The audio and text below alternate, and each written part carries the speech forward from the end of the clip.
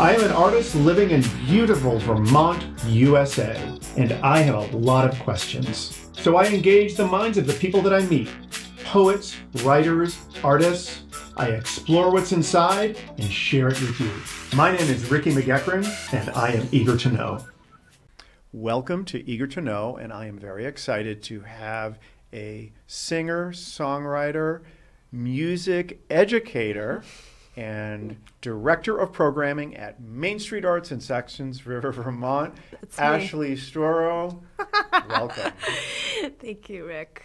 It's a, that is a um, a mouthful of titles. Yeah, there's a lot. There's a lot going on. There's a with- lot going lot on. going on with you. Yeah. So you and I did like our pre-interview, and we started to like map out what we're going to talk about. Mm-hmm. But then we're like, eh, we you and I just always just are at Main Street Arts, and we just talk for like an hour nonstop. Yeah. And um, it's always something interesting. Mm-hmm. So hopefully the eager to know listeners will think that it's interesting.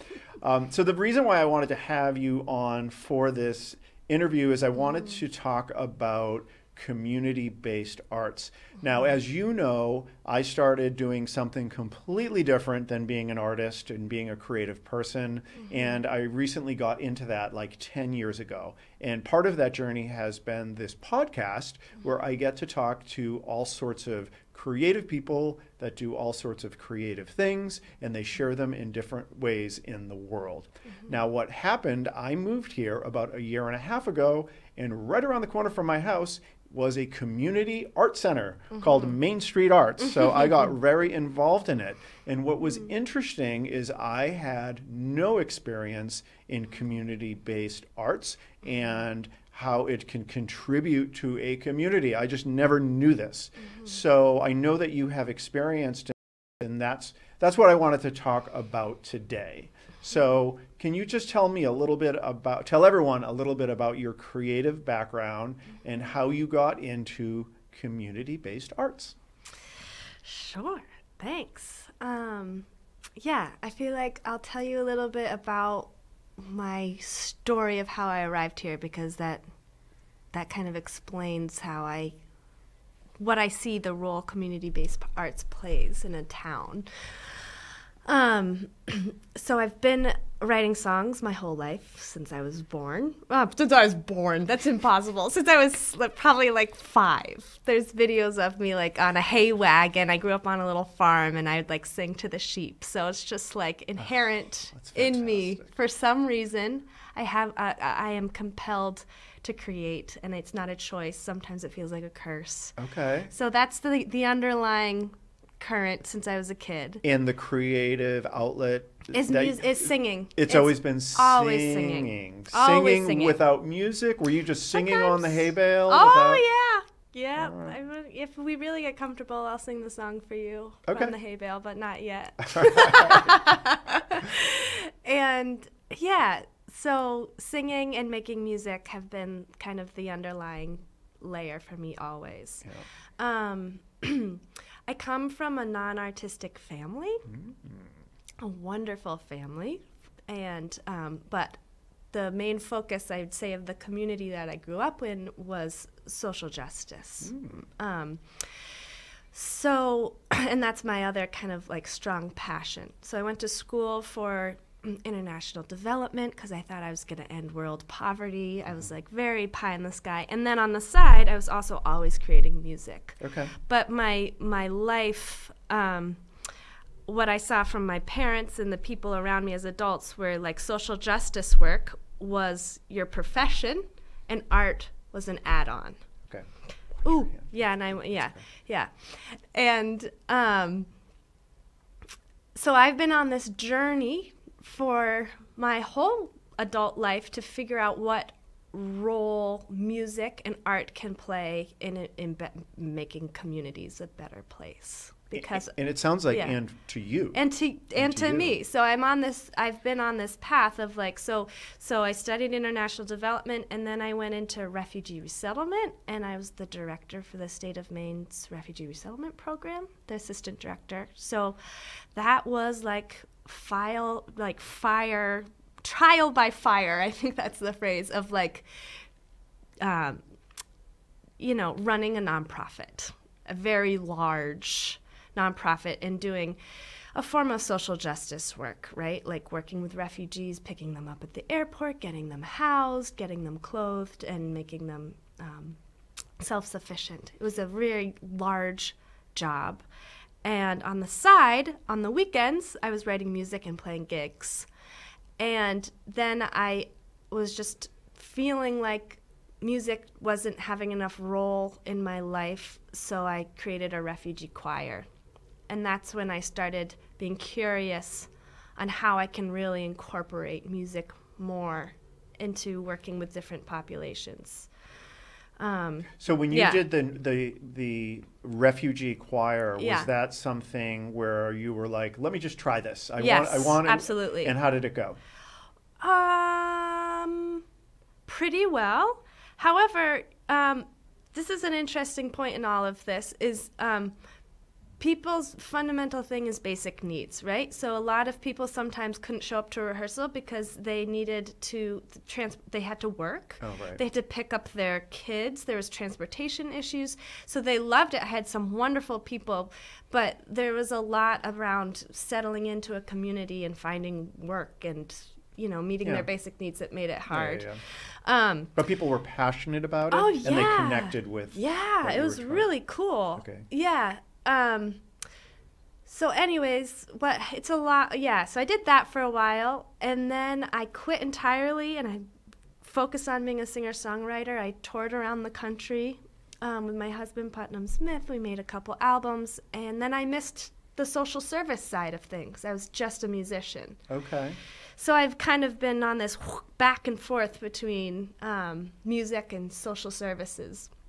And then I went and I got my master's at the School for International Training, specifically because you can design your own major. Okay. And I wanted to ask the question how can I use music and art to improve the well being of communities? Okay. And in that process, someone said to me, um, There's a choir teacher opening up at Vermont Academy. So I did my practicum for my master's studying how to incorporate social justice teaching pedagogies into a music classroom. Oh my goodness. And as I would drive up to Vermont Academy, I would pass Main Street Arts every day. Mm. And that got me thinking, of, oh, maybe a community based arts center could be a home for where you can use creative expression to help improve the quality of life of communities. Right. And I actually put Main Street Arts in my senior thesis, a picture of it. Oh, really? And that was like, I don't know, five years ago. So it, for me, it's very, um, it's been this really interesting path that has finally landed me at Main Street Arts. And for me, that feels like this coming together of a space where the arts and and this deep desire I have to make communities more vibrant and people like more. Mm, what am I trying to do? I'm trying to like work with making humans more in touch with who they are or something, right? Yes. So if you so if that's your intent and yeah. what your goal is, yeah. can I assume that um, you know the, the, goal is to make communities better and improve them and in right. touch with who they are so yeah. i can assume that music before you were out in the world and you were on the back of that hay bale yeah it, what was music and creative expression what was it doing for you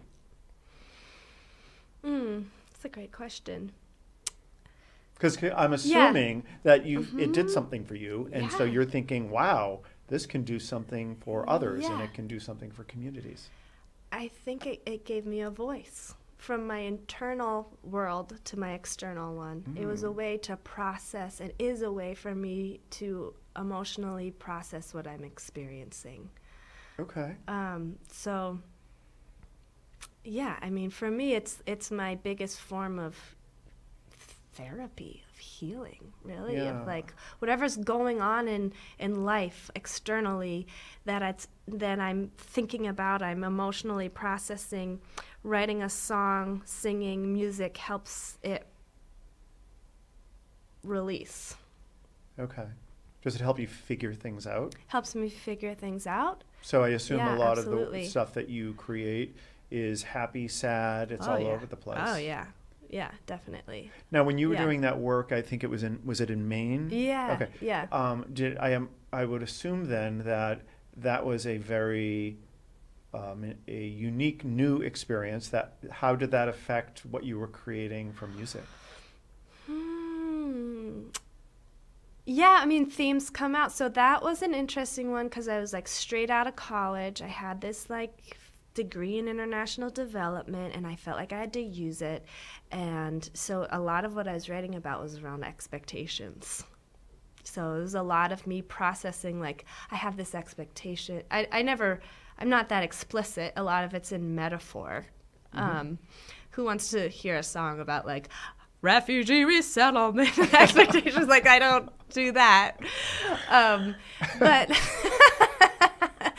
it's all the deeper Right. underlying um, message. And I guess for me, what I try to do is if I can tap into the core of an emotional experience of like, I'm struggling with my expectations of myself, the goal for me is that as a listener, it's some universal emotion that you could connect with also. Yeah. So it's not around my individual experience. How, but how do because I feel like there's two Yeah. parts of this. There is Yeah. having this experience, you know, these experiences that we have that have to do with thoughts, feelings, and then turning that into a musical expression. But Yeah. then, do you have to worry about um, how people receive it? And Absolutely. like, how, and Yeah. is that? I guess that's part of the skill as a musician is knowing how to not, you know, rep, sing refugee resettlement, but sing something that people are going to Mm-hmm. um, buy into, or in the words that you used once with me that Yeah. you could convince them of. Ah, I said that once? Yes, you, Oh, yes, you did. Because we were having this conversation. Yeah. Because of course I'm learning piano, and Yeah. uh, we were working on a jingle. Oh, right. Which is another whole story, but I was working on a jingle. Yeah. And I'm like, can we use this chord if had like some sort of like music theory? Is it okay? And you're Yeah. like, you can use it if you can convince the listener of it. Mm. And I was right, like, right, that's right. brilliant. Right. But anyhow, Yeah. No, it is. Re- it's related for sure. Um,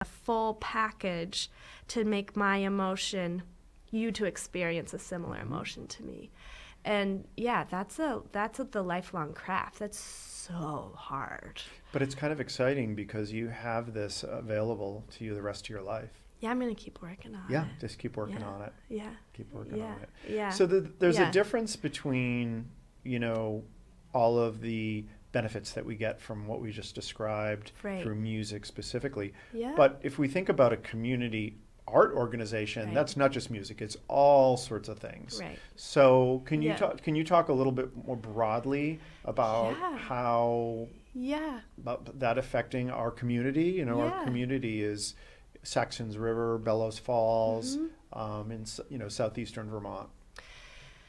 Yeah, so I think part of my journey has been in discovering what are the true s- benefits of the arts for the community. Like, Mhm. what are those things songwriters, painters, piano play, all of us are like, what are we really getting at? Yeah. And um, some of the things I think about are the arts help us to um, imagine, they help us to experience awe, they help us to experience, um, to, to process, to think critically about the way things are, to rethink things. Um, they help us to be vulnerable. they help us get in touch with, they help us process emotions. And to me, some of those I call the soft skills. So we have hard skills in life, like I can make a program tracker, or I can send, I can write a grant.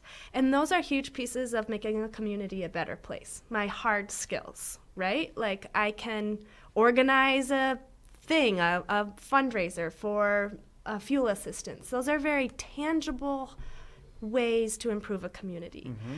The arts get at this core underneath all of that of how we exist in this world. Mm-hmm.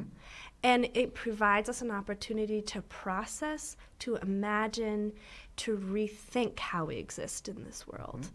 So when we create a center, a place, a home for creative people to get together and bring those types of people and opportunities together, we are doing, for me, the deepest kind of healing that a community can go through. Um, yes, we need to meet our basic needs. We need to make sure our neighbors all have heat. But the way the world is headed, we also need to make sure that we're processing all the crap that's going on right now. And the arts are going to help us do that. And if we're not processing it and we disconnect emotionally, we're screwed. Yeah. So we need art centers. We need the we need the arts and we need each other. So arts organizations are this opportunity to like um, to really get at the core of what's going on um, in our world and process them and make something out of it. Let's talk specifically about where you and I met, which is Main Street Arts in Saxtons River, Vermont, um, which is where I live. So mm-hmm. when I was moving here, when I was looking to move to the area, um, I stumbled on a property in this place called Saxtons River that I had never heard of. And I came to this little village, and there was like two things. Well, there was a post office, there was a general store, and there was a Main Street Art Center. There was also an inn, but the inn was closed at the time. Yeah. So, and it's the Main Street Art Center was this beautiful building, and I I got involved, and it's been really wonderful. Um, so the art center is really uh, beautiful. It's an old building. It has a beautiful lobby. It has a, an incredible art room. There's bright uh, space that is well lit where we can do art activities. It has a well lit art gallery, mm-hmm. and then upstairs there is a theater with a stage, and there's a Steinway piano, and it's been really uh, incredible. I have personally never been associated with anything like something like this, yeah. but the quality of this place is just fantastic. Yeah. And then there's the programming. So I don't know if you yeah. want to talk a little bit about the programming that Main Street Arts does. Sure. Yeah. I mean, right now we have 14 programs, and they're mostly in these buckets. Okay. the, the buckets being um, music, theater, wellness, and community events. Um, and that's all happened pretty organically, which I think is a piece of what this is, right? Is like people who's in the community and what do they need? And they come to us and they see a space and they're like, I want to offer yoga. I want to offer um, a children's music class. So we're just like a home. Or a sewing circle. Or a sewing There's a sewing circle, circle called Stitcheroos. Exactly, exactly.